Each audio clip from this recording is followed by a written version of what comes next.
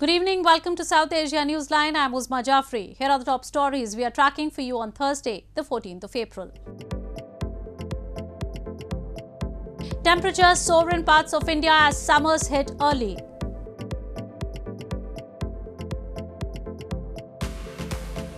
Sri Lankans celebrate New Year at anti-government protest site.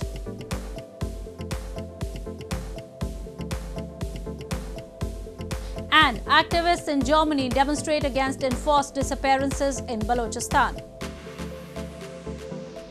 And now for all the details. A severe bout of heat wave spells swept parts of India on Thursday as summers have hit early.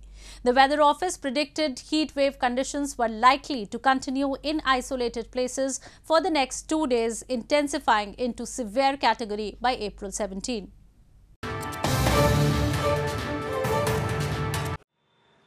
Soaring temperatures in parts of India continue to affect daily life on Thursday as heat wave tightened its grip across the country.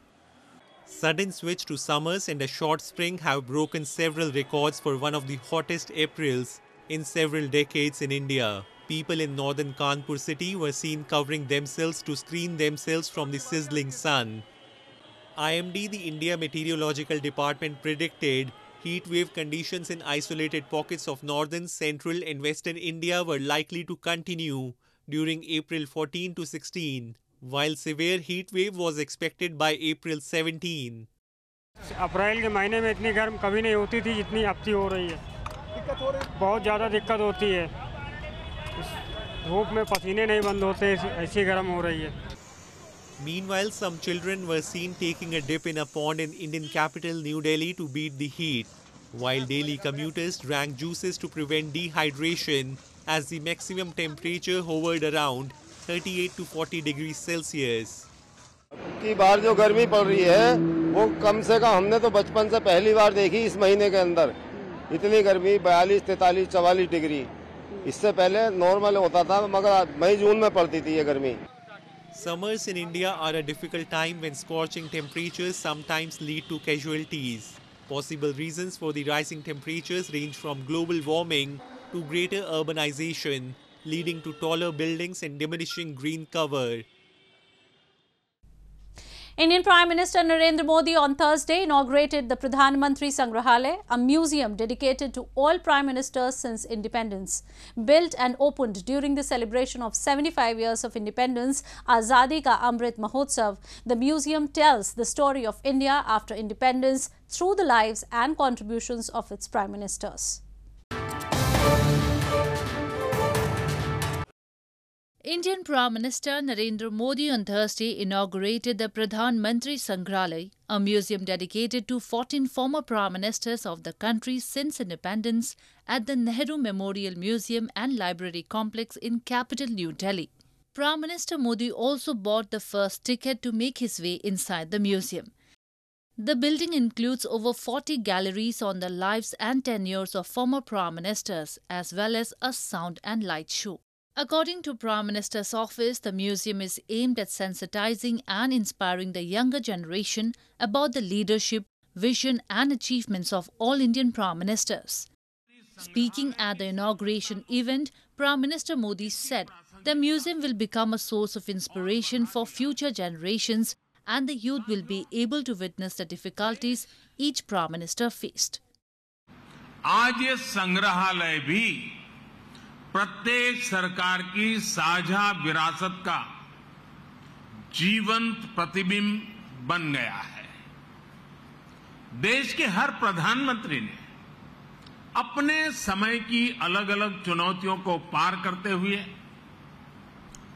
देश को आगे ले जाने की कोशिश की है। देश की जनता, विशेषकर युवा वर्ग, भावी पीढ़ी, सभी प्रधानमंत्रियों के बारे में जानेंगी तो उन्हें प्रेरणा मिलेगी The design of the museum building is inspired by the story of rising India, shaped and molded by the hands of its leaders.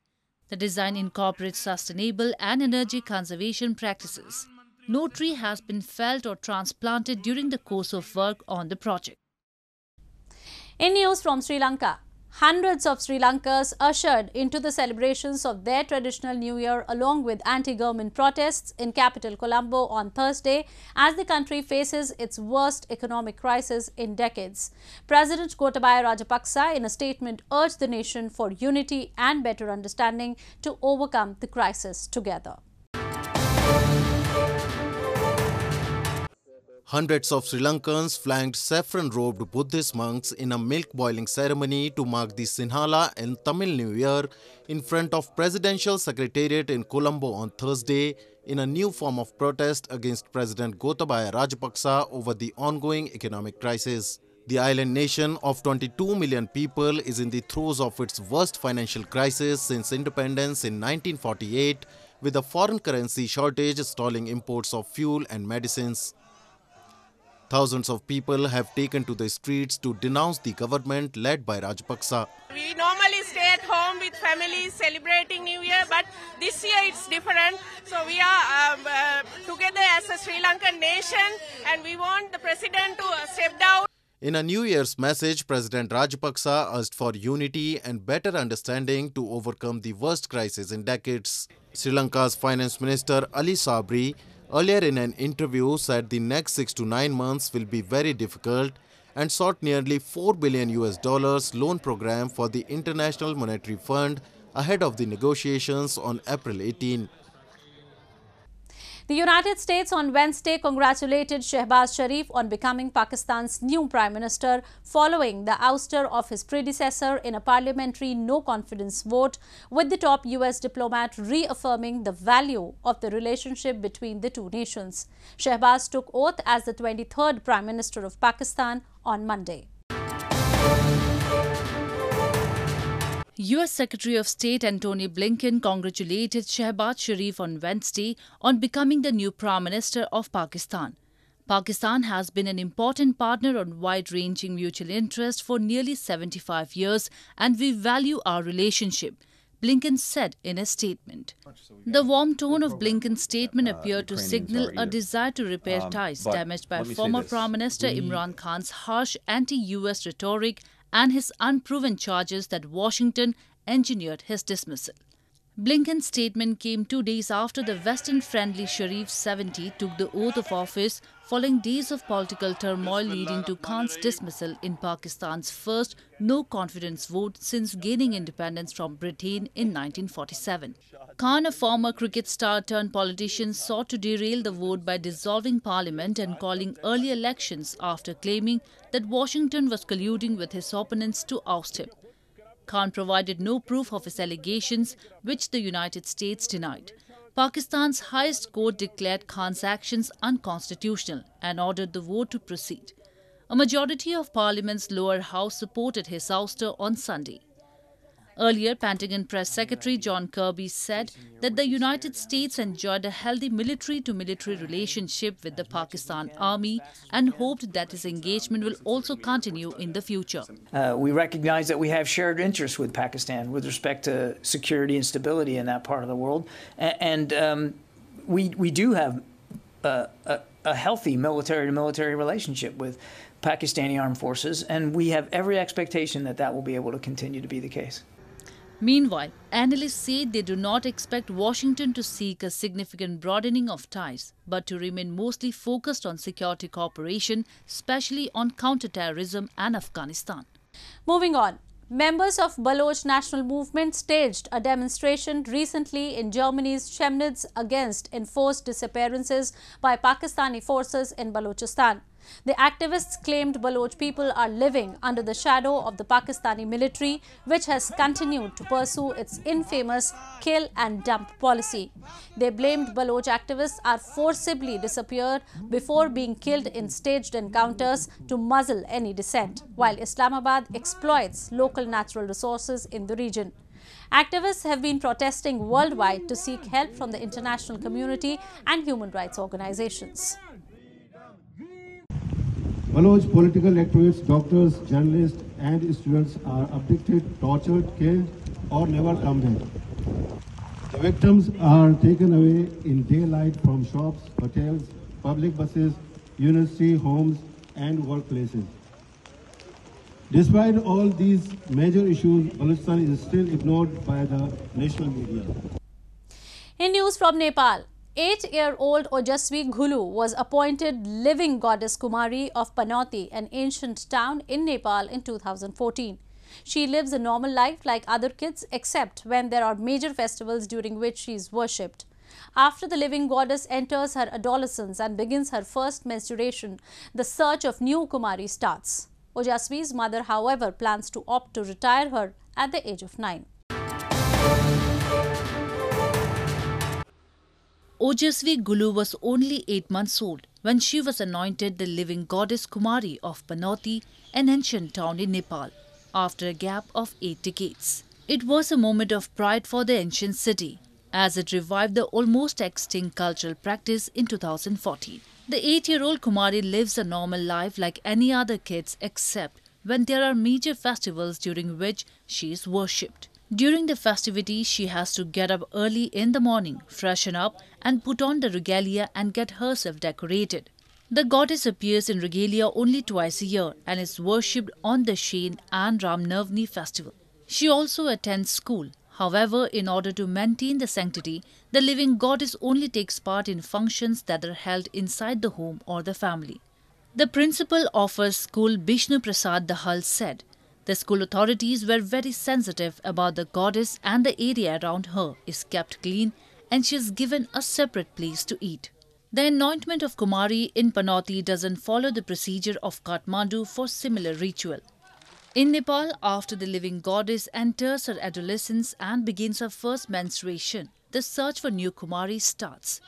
Ojaswi's mother, however, plans to opt to retire her at the age of 9. खास गरी period भएपछि निकाल्ने हो तर हामीले चाहिँ nine इयर्समै निकाल्ने कि भनेर हाम्रो फ्यामिलीले भनेर किनकि हाम्रो नेवारी कल्चरमा अब यहीँ गर्नु पऱ्यो गुफा राख्नु पऱ्यो पिरियड हुनुभन्दा अगाडि नै गर्नुपर्ने कार कामहरू हो त्यो। अनि त्यसैको कारणले हामीले चाहिँ नाइन इयर्समा निकाल्ने भन्ने कुरा भएको थियो। अब यहाँको समितिहरूले पनि हुन्छ सल्लाह गर्छु भन्नुभएको छ अनि सल्लाह त अझसम्म भएको छैन। As per her, Panoti possibly would get a new living goddess next the Shain. In Nepal's traditions, a living goddess is seen as a form of Hindu goddess, being the symbol of religious tolerance, while a number of people here in the Himalayan nation come from the Buddhist background. For centuries, the goddesses were used by kings to legitimize their rules. Thousands of devotees throng the famous Golden Temple and the pilgrimage site of Haridwar in northern India to offer prayers and take a holy dip to mark the harvest festival of Baisakhi on Thursday. Meanwhile, people in northeastern Assam state dressed in traditional finery and danced on drum beats to celebrate Bihu, their traditional new year.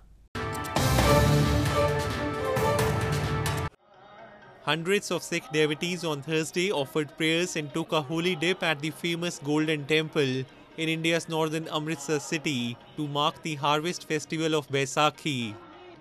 The festival also holds a special significance for the Sikhs, as on this day, in the year 1699, the 10th Sikh spiritual leader Guru Gobind Singh established the Khalsa Panth, a community of initiated Sikhs, a key event in the history of Sikhism.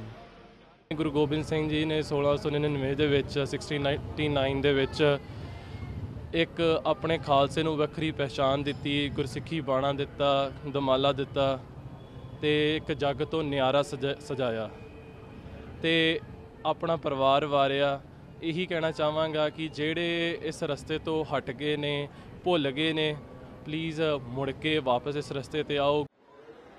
Thousands of Hindu devotees also took a holy dip in river Ganges in the pilgrim town of Haridwar to mark the auspicious occasion.